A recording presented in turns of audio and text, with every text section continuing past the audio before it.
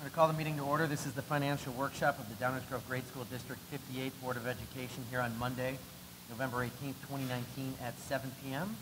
here at El Sierra School. Melissa, will you please call roll? Member Doshi. Here. Member Hannis. Here. Member Harris. Here. Member Olchek. Here. Member Samanti. Here. Member Weiner. Here. Member Hughes. Here.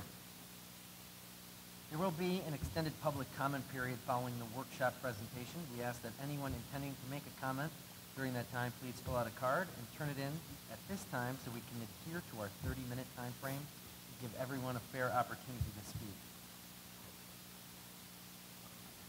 Oh, here at the table there behind me. Um, and then at this point, we're going to go ahead and just kick off the financial workshop, go right in with uh, Todd Drafall.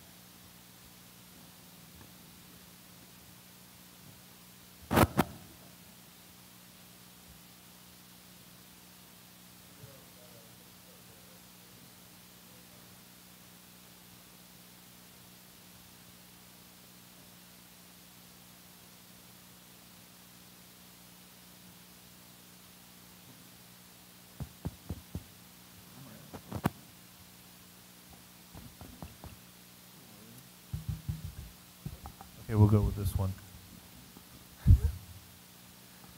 Green may be a little hard to read with the numbers, but we'll go through it. Um, so th- this is the revenue side, uh, as the board has just approved the levy uh, at its last meeting, uh, and you know we, we had a presentation of that back in October. We thought we would kind of break up uh, the whole projection and, and next budget as we're entering into fiscal year 21 budget uh, preparation and talk a little bit more about resources uh, this evening, as well as uh, the board at the, when it approved, thank you, better, uh, approved the budget for FY20, uh, had a concern about fund balance. So we have a conversation about that as well. And as well as, and then we have some pieces we want to talk about, um, about comparison of local resources to other area elementary districts. Uh, we have kind of you know, put some tables together to kind of illustrate uh, where Downers Grove 58 is comparison to neighbors as far as local resource allocate, uh, re- resources available, mainly tax levy and, and EAV. So the first part we want to talk about is, is, is financial resources and breakdown of, of where our revenue comes from. Obviously, the majority of our revenue comes from property taxes and real estate.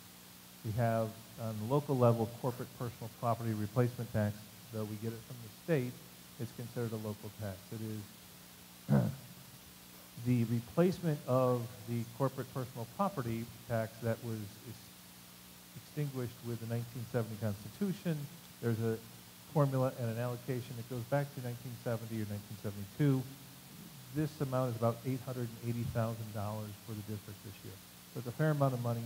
It, you know, it's based on a, you know, what is a fairly old formula, uh, but it is a considerable piece. So we have interest income, which is a growing piece, and then our local fees, uh, which are our Oak Keep revenue, uh, transportation fees that we charge for uh, students that, you know, for transportation, a small amount, and registration fees.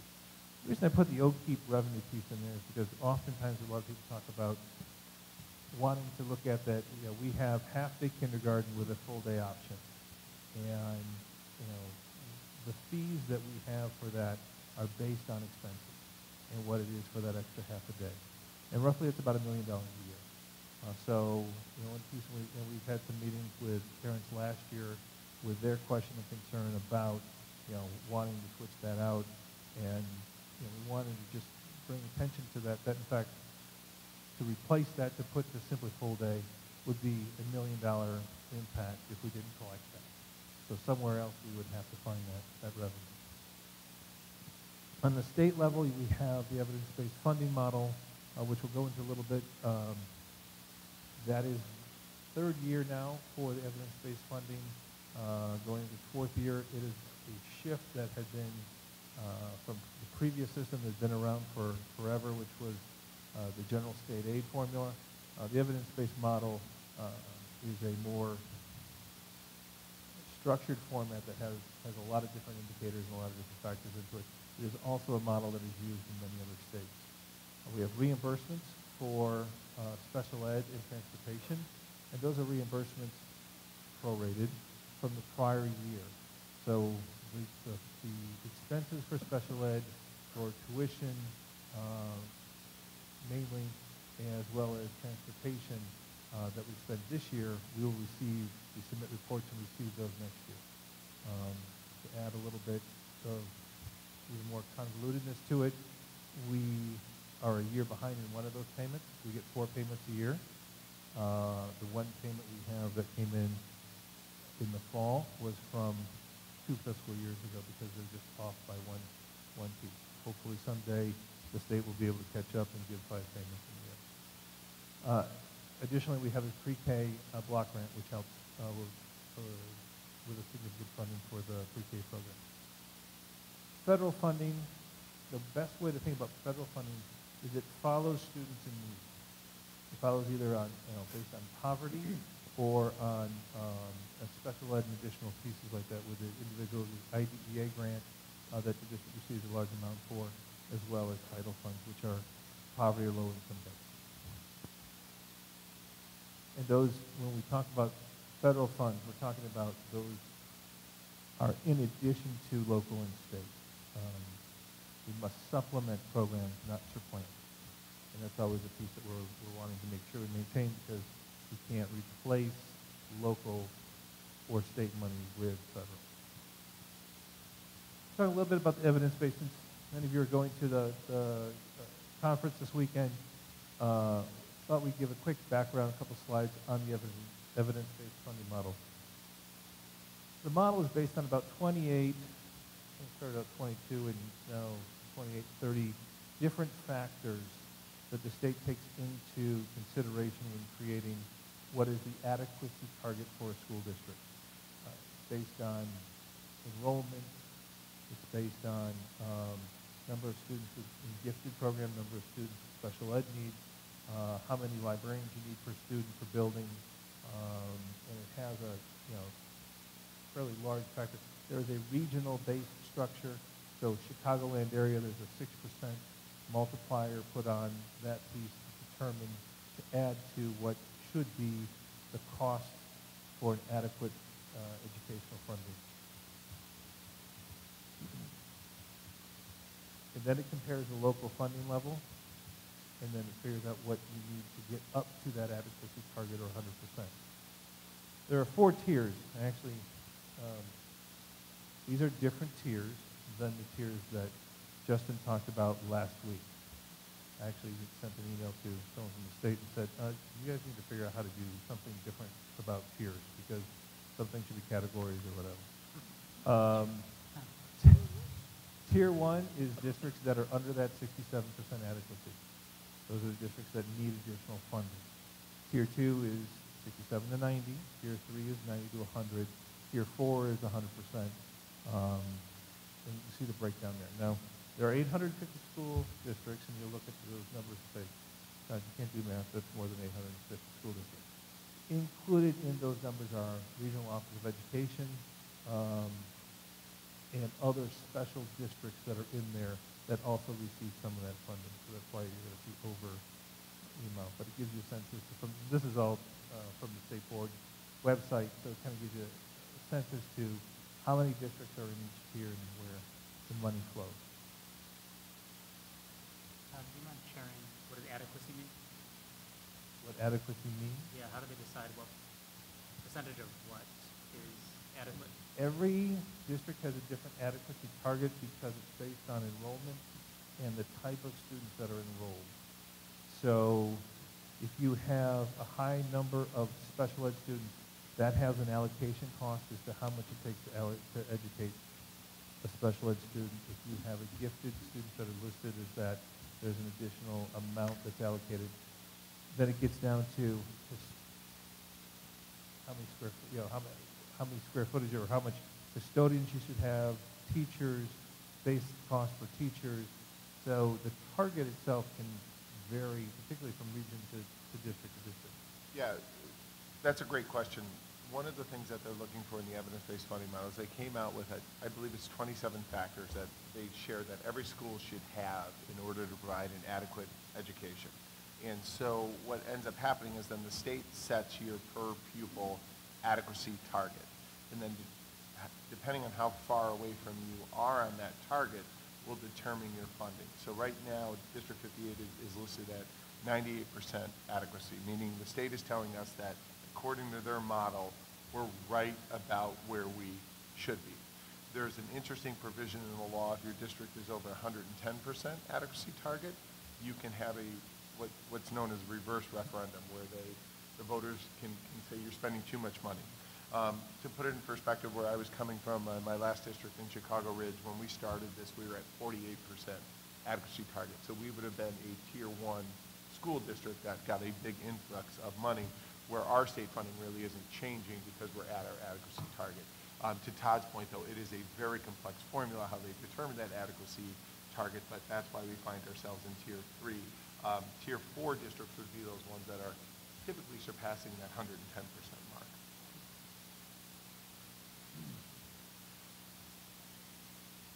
So the funding structure, the adequacy piece is to, and the, the evidence-based funding model, when it was adopted, was essentially to help those districts in getting to that higher level, to be able to uh, have additional resources uh, for those students, you know, to bring the bottom up. And so, to that end, the structure is such uh, that tier one, any new funds, so everyone has a hold harmless piece uh, from the original amount when it was first initiated. They the calculation, general state aid, which you had, special ed, uh, reimbursement costs, and, and, and bilingual grant ro- rolled up about five different uh, funds and put them into one, and then based it against the you know the EBF that first year, and um, and that was you know the, the baseline level, and then additional money's been placed on there ever since. So tier one groups get 50% of the, any new money that goes in. Tier two, well, the next 49% goes to tier one and two. The next nine tenths of a percent goes to tier three, and one tenth of a percent goes to tier four. So tier four is really essentially not going to get. There are some districts I looked was looking through the list. Um, there are a few districts in the area that got $500 increase uh, in state funding um, this year because they're already over exceeding 100% of what the adequacy target would be. So, Todd, Um, just real quick, so the board knows, the- the way it used to be set up, what, it- before the evidence-based funding model, is there were three levels of funding. Um, we would have been in what's called the flat grant, uh, funding. So that's where your district is getting a certain dollar amount per student. Um, that was around hundred and eighty dollars, does that sound about right? About 179 $180, yeah. And there was a middle level called the, you know, alternate level, and then there was the foundation level. The, the problem that the state came into with this is, is they never could fully provide districts with what they promised. And so what they would come back is they would say, yeah, we don't have enough money to pay you, so what we're gonna do this year is we're gonna prorate all districts what we were gonna give you. So instead of getting all that money, we're only gonna give you eighty-nine percent of that money. So that was, that's an example of that. So in districts that were heavily dependent upon state money, when they got prorated, it really hurt them disproportionately to districts that had a flat grant from state funding because eighty-nine percent of, you know, hundred and eighty-one dollars per student is a lot different than eighty-nine um, percent of, you know, six thousand per student, so to speak. And so that's the whole intent here is that they level the playing field with this funding formula. What it does do, though, for districts like Downers Grove that are already heavily burdened with local taxes, uh, especially the property tax, it forces the towns like ours to be more reliant on the property tax, which, which can be very painful uh, locally as well. So new money this year uh, for fiscal year 20 for the state was about 312 million dollars. So the example of 300 is pretty close to what actually happened uh, this last year for the state when they funding. So the first tier got 150 million dollars. Then the next two tiers, or tier one and two, then split 147. You can see, you know, 2.7 and 0.3. That would be where the $500 comes from out of that 0.3 uh, or three hundred thousand dollars uh, for uh, tier tier four schools. And then I'm gonna go back a minute here. So, fifty-eight school districts split that two point seven million dollars for tier three. hundred and fifty-one districts split that three hundred thousand dollars. Yeah, so, yeah,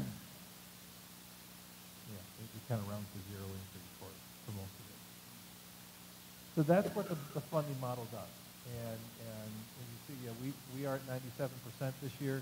Um, our, the amount that we received is three point three million dollars. We received, a a hundred and twenty-seven thousand dollar increase from the prior year. So it's not, a I mean, a couple teachers' salaries in there. Um, you know, it's important that we, you know, every dollar is important, and it's a good dollar. Uh, but it's not a substantial amount of revenue from the district. This is the table that we do, the recap table every year, um, and we're not going to go through this because it's not readable, but we wanted to go to and talk about this in a graphic format. Um, because when we start talking about levels of funding and levels of expense, uh, there are things we can do and adjust to show what the evidence-based funding model does, um, and things we can look at. But the reality is, you know, most of our impact and most of our revenue is coming from. Um, you know, property taxes, which is the big, the big blue line, and most of that obviously is in the educational fund. Uh, you have the other pieces of uh, local other resources and, and state aid and so forth. Um, I'll point out that under capital, that little green line back over there, oh no, see, there it is.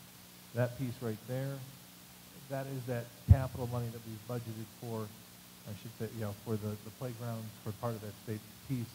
You know, that's in there on the capital side. And one nice thing about keeping it in the capital side is it's kind of segregated out. And so it doesn't get into conversation of inflating our operational uh, pieces, you know, both on, on both sides of the equation. But we wanted to just kind of give that as a graphical representation to show, you know, comparatively where the majority of the money is coming from.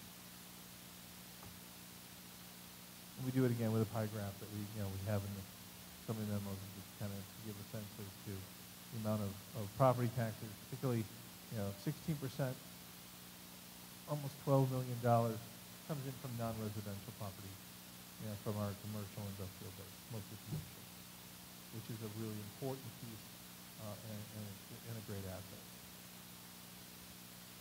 Looking at the expense side, and this is by object, so you can see kind of a breakdown of salaries, benefits, purchase services, supplies, so forth. Um, tuition and other, you see that, that green piece over back there. That largely is um, SASED and private placement.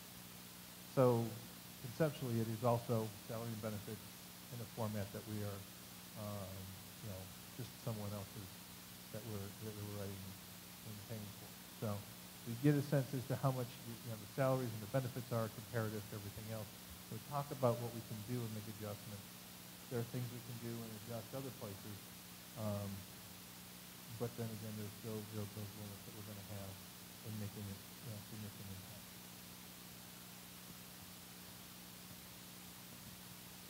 And then again, we have a, you know, just a pie graph that gives you a sense of the overall. Questions on that piece? Mainly focusing on the, on the revenue side.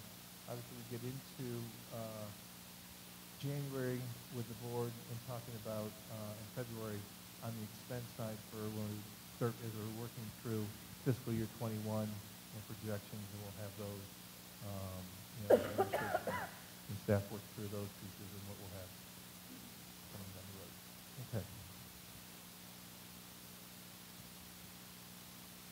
When you all adopted the fiscal year twenty budget with a very, very thin, uh, fund balance add, uh, we had a conversation and we followed that up with the memos and so forth about fund balance and the concern that um, we have a dangerous low cash balance point uh, into the spring before that tax bill, those early taxes come in. Um,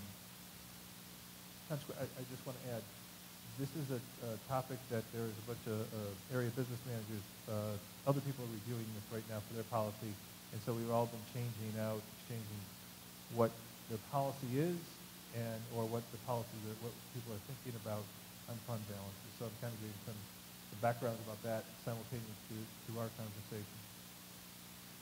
You have the salary and benefits for salary, uh, salary and benefits budget of $53 million and accounts payable of 15. What we calculated was for June, that, that first June bill list that the board has when they approve the bills in June, as well as that first payroll in June, uh, is right at the point where we're getting some tax, early tax money in, but right at the end of May when we're at a very low cash point. Um, so we calculate out what we really need to have in the bank cover those bills is about $4 million.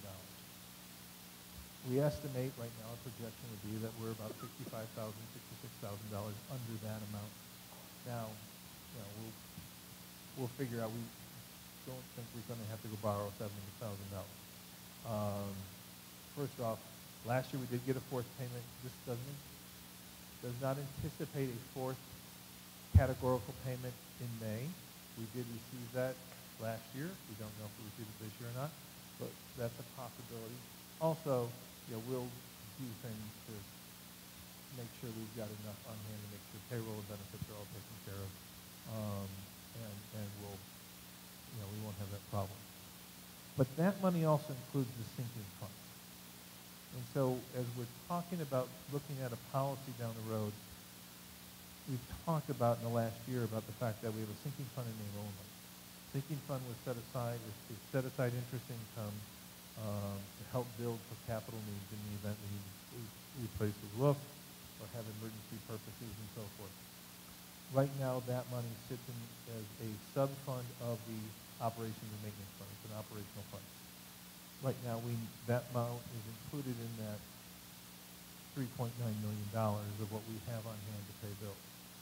So we're looking forward what we need to do to build policy that one has enough cash on hand to pay the bills at that low cash point, but also starts to free up that sinking fund so that we can eventually move it to the capital fund and use it when we need to use it.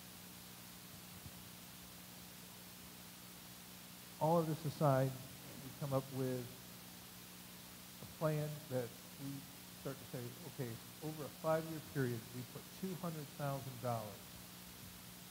that every year when we create a budget, that revenue must exceed expenditures by $200,000. So we're adding to the fund balance $200,000 going forward. That helps work that way through. And then from that point, we're making sure that, you know, fund balance to expense is a, is a, is a percentage piece and grows as expenditures grow. If expenditures decrease, then that may give some room in that piece or allow us to, to build a little bit more ahead. But, you know, working over, because to take a million dollars out or $800,000 out of a budget at this point is just not a feasible thing. Um, unless we have, you know, I'm, I'm sure even if we had a large increase in, of $800,000 of revenue, we have a large amount of needs that we would like to do that with. Um, and we think we can manage this piece over the next four to five year period. And the additional property tax piece that come in a little better than, you know, than projection, you know, that helps out, that helps out the overall, uh, at the end. So that, there's the math and what we were talking about, putting the policy together that would, uh, as we start to look at building the budget going forward, when we add up, when we start balancing things, that's the piece that we'll look at as kind of our zero point, which is, I think, what the board had kind of alluded to and talked about uh, at the September board meeting as to what we needed to do uh, when they adopted uh, you know, fiscal year 20, just to come in at the something.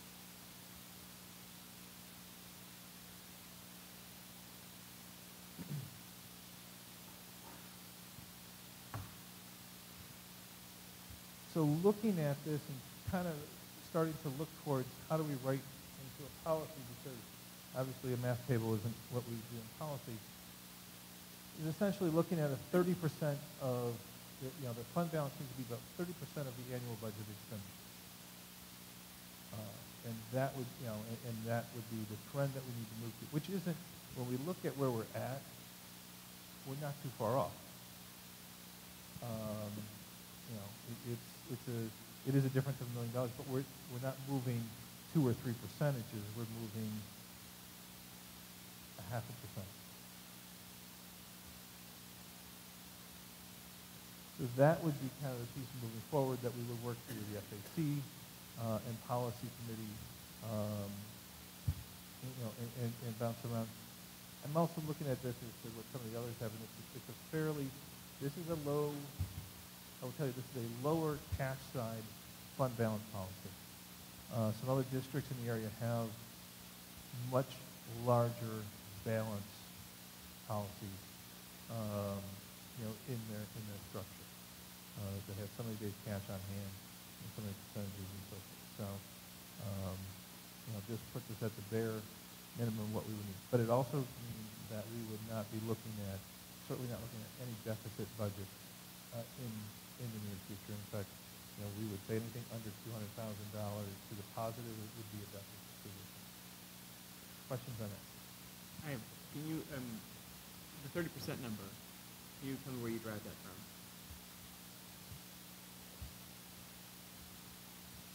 So the current projected ending balance is, okay, okay, so thirty percent.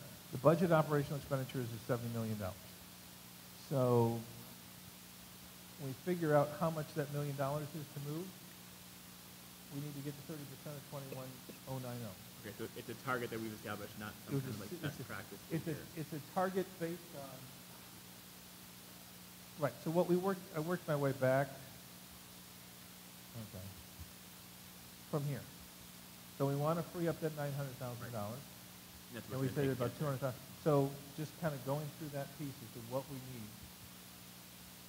as, the- at that low cash point, and then what is that, you know, putting that amount into what's our ending balance, projected ending balance, that comes out to be about thirty percent. So you're proposing drafting a policy that states that each fund should have thirty percent of the, of the fiscal year's operational costs. Overall operating funds, the overall operating funds would need to be at thirty percent. That we would work toward the goal to get there. Uh, And to, to reach that over a, a four to five year period. Sure. And the benefit to that then is to make this two. You would avoid any kind of talk about tax anticipation ones, number one. And number two is to truly have a capital or a sinking fund where you could replenish over time for maintenance needs and maintenance projects, which was the original intent. But unfortunately, right now with the district's financial position is, is that's kind of our bank account to make sure that we avoid tax anticipation ones right now, instead of using it for maintenance. The, the two hundred thousand dollars over the next five years, that's to get us caught up. And then is the policy after that gonna be looking at just maintaining, Maintain the thirty. 30%. calculating every year what the increase should be to get to that thirty percent? Yep. Correct. So to Todd's point from, you know, and and Darren, you said this at the FAC, the board worked very hard to get out of deficit spending. You're there now with a balanced budget. Now, how do we take that next step? So I think Todd made a really good point. Anything under two hundred thousand dollars to the positive would be viewed as a deficit spending budget, um, to, in order to get us there.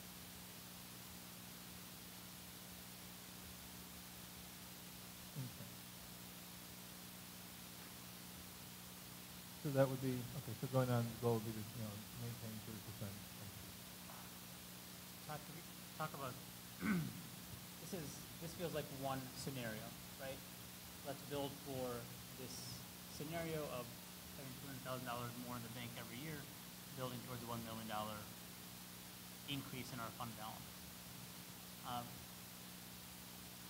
What are, I imagine you thought through a couple of other ways you could slice it, right? What are other scenarios on the less aggressive and the more aggressive end that we, we could decide alternatively to go for.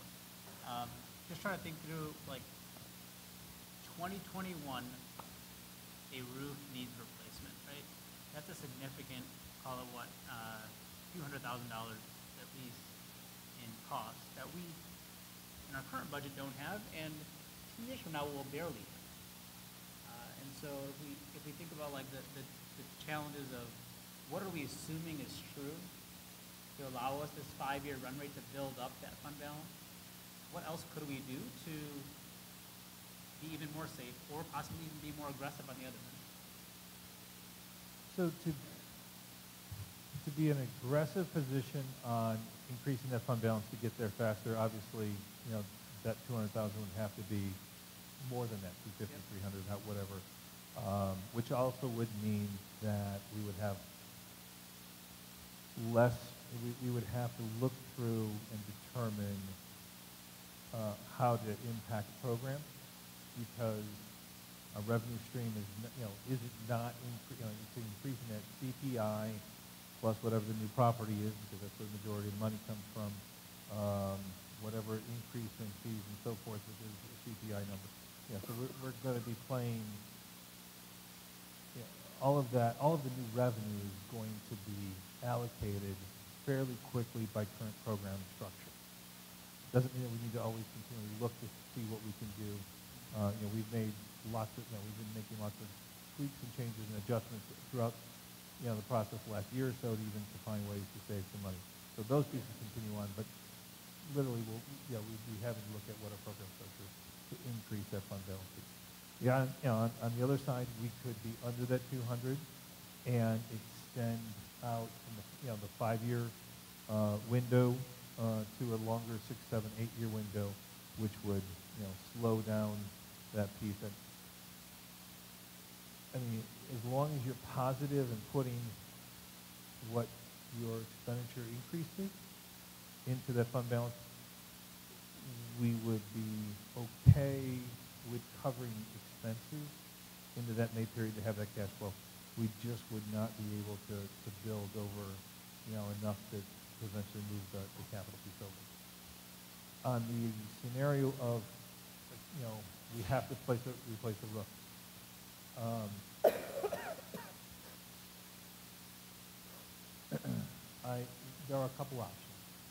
There's one, we, we pay, we pay cash.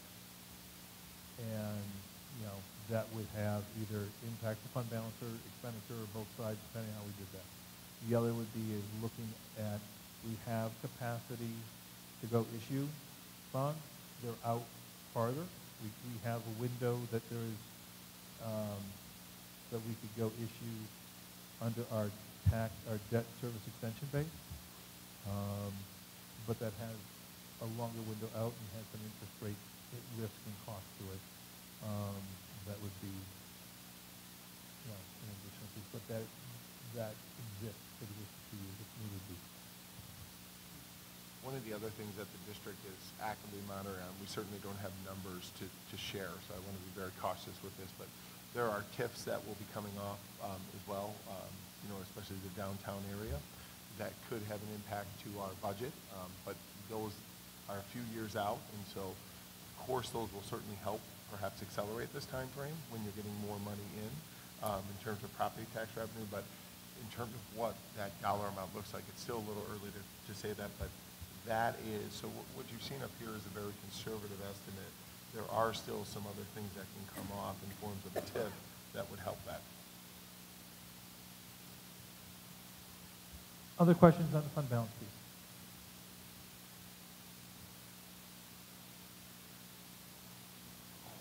The last piece I want to talk about is comparisons to other local districts. So we have a system we use is uh, called Forecast Five, and it puts all of, it grabs a lot of data from uh, the state and all other sources, and we're able to do some comparison pieces. So this graph is the tax rates for essentially all the elementary districts in DuPage County surrounding. See, we are here. This is our rates over 16, 17, and 18 um, levy years. Gower is a little lower on a, on a rate. Um, a lot of them are higher. A tax rate comes from two different things. It comes from the ability to ask and what the amount of money you can get, out of your levy, but also deals with, you know, what your tax base is and your assessed value. We have a very large tax base. We have almost 2.8, 2.9 billion dollars in tax, in, in property tax base, which is a considerable amount of money. So, um, so we're very fortunate that that helps produce, along with the district not having had a referendum in a very long time, um, a lower tax rate. We're about dollar ninety on our limited rate. Right? So, and even, you know, the one example we look at is Woodridge, this is total tax rate, this includes bonds and debt. Uh, you can see that theirs is, um, a little bit higher, they have a smaller tax base than we do, uh, but they have a much larger limiting rate and operation rate, uh, than we do as well. And just for the board's perspective, why you don't see the high school districts up here is because high school districts that are not part of the unit school district, you can tax those at a different rate. So it's not an apples to apples comparison. Right. And so that's why you don't see the high school districts up. So these are just elementary districts only. Could you go back one slide? Uh-huh. I have a dumb question. There you go. In, You have a good question. in, in Hinsdale one eighty-one, from one year to the other, how did their tax rate go up?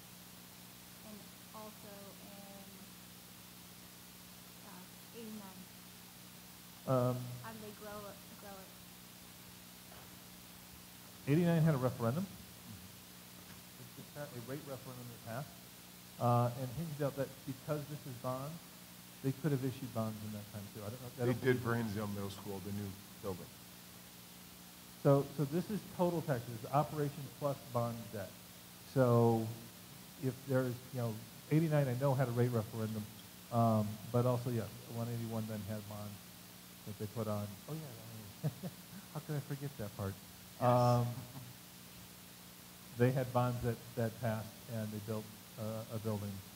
Um, Yeah, so, so typically, Tracy, what you would see here is, is if EAV is going up, your tax rate is going to go down. And so that's where you would see the, the bars going to the right. But if there is some kind of a bond issuance or a, a limiting rate increase, you would see some anomalies like in District 89 or District 181.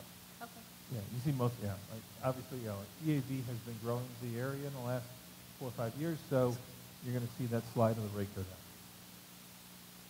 Okay.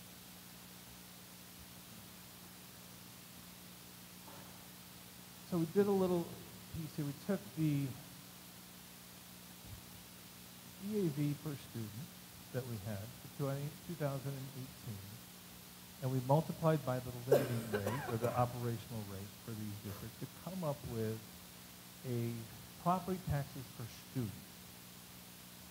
You can see Addison has seventy-two fifty-two per student. We have ninety-eight ninety per student. And then what we did is we took our enrollment, uh, enrollment was fifty-one thirty-five. That was reported through this and we did a calculation to come up with if we had the resources of these other districts, how much money would we be less or more based on our enrollment? So if we had their taxability, and what would our, you know, with our enrollment and our population, what would it be?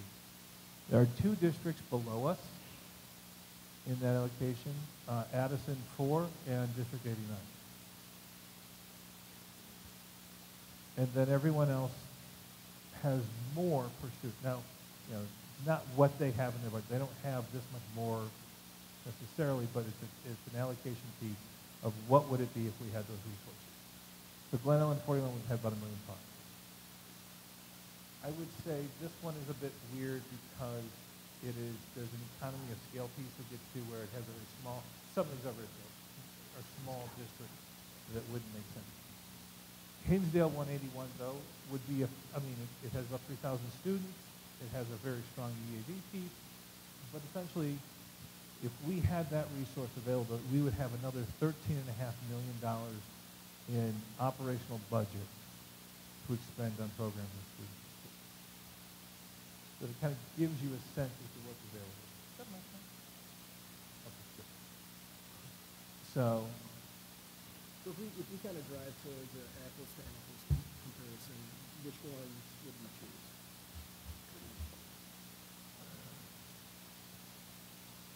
West Chicago is what's similar the number of app- what's the closest kid? kids, But their, talking- their I think- demographics are different. If you're talking just in terms of the size of the school district, like a large elementary school district, 181 and West Chicago are similar in terms of the number of buildings and and the uh, number of students. Now, West Chicago, in terms of equalized assessed value, probably isn't the same.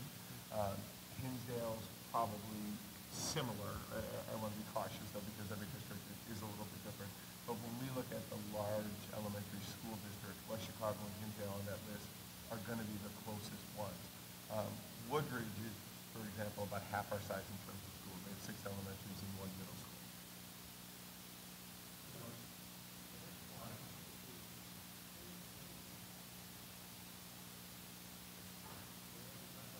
We talked about the evidence-based funding model format, and there's a reason why, is because we wanted to put the tiers and their adequacies in here to compare with us as well, because, you know, we're at tier three, we're at ninety-six point eight, it's at ninety-seven percent adequacy. So you have Addison, which is at sixty-eight percent, so they're, you know, they're thirteen million dollars under our level, but they've also got a considerable amount of new, of, of state funds as well because of that EBF format, right? Uh, per student. Um, you know, Woodridge is at ninety-two percent adequacy, so a little below it. Then you've got some others, um, so on a size level, Hinsdale, you know, has it. But when you look at where they're at 135% of adequacy, obviously they have, you know, those, those local resources piece, and that rate has an impact on what they have available for students. You know, they're at 12.5 uh, compared to our, our 98, 90. Um, you know, DuPage, uh, 45 smaller district, you know, they're a tier two, and, you know, they have additional funds as well on a local piece comparatively.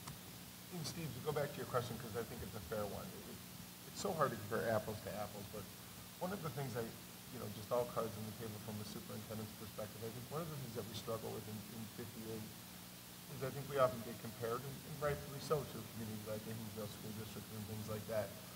What's tough, though, is, is when you look at how far over their adequacy target they may be compared to ours, that's where, when you're talking resources, it, it sometimes is a, is a tougher comparison uh, to make because they're obviously getting more resources than, than what we would have available um, to us. So there's so many numbers that, that come into play here, but I think that adequacy percentage is, is just a good one to look at and see where the local districts compared to ours in terms of how they rank up, and that limiting rate is also, uh, a, I think, a really interesting number to, to take a look at. What I also, though, kind of think about is if you were saying that Hinsdale's EAV is similar to ours, they're also educating 2,000 less students, right?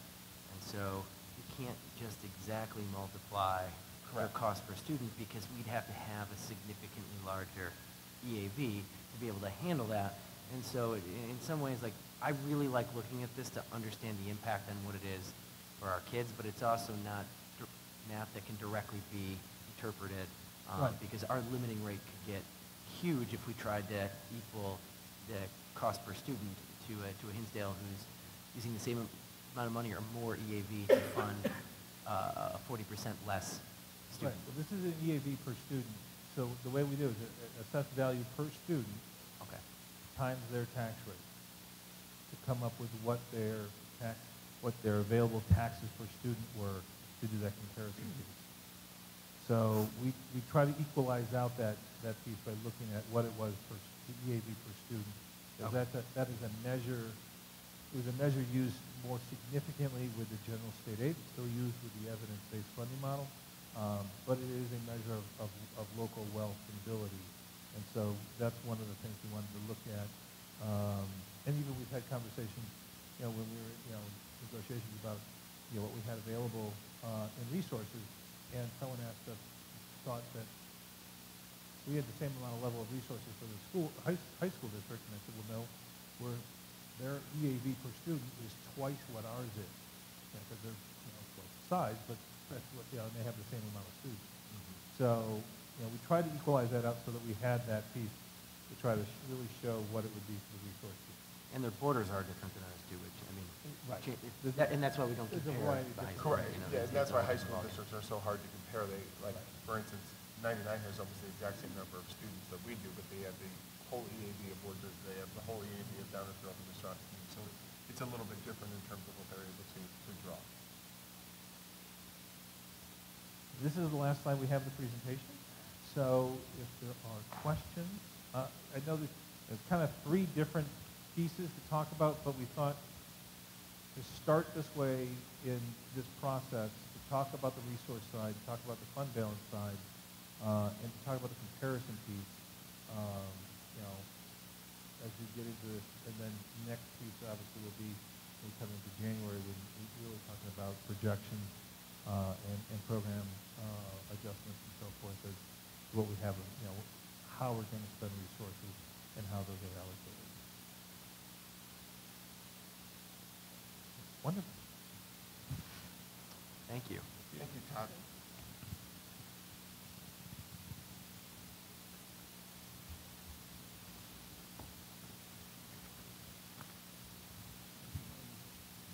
All right, with that, that concludes the uh, financial workshop presentation. So we're going to go on to take uh, public comment. This is, the board is allocating 30-minute time frame for the extended opportunity for board and community communications. Anyone wishing to address the board is asked to state your name and school attendance area. You are encouraged to limit your comment to three minutes so that everyone has a fair opportunity to speak. We ask everyone to be respectful of time limits, be respectful of others, and otherwise abide by board policy. I did not see anyone get up, I'm assuming there are no cards. But if there is anyone that would like to speak, feel free to step forward. Um, and provide you a mic if necessary. Make that line single file, please.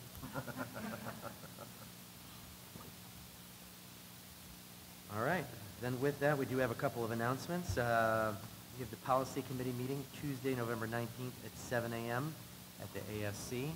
We have the Legislative Committee meeting on Wednesday, November 20th at 3:45 p.m. at the ASC.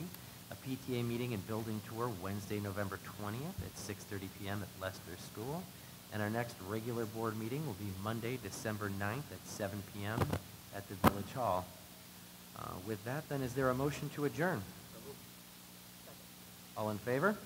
Aye. Motion is carried. The meeting is adjourned here at 7:51 PM.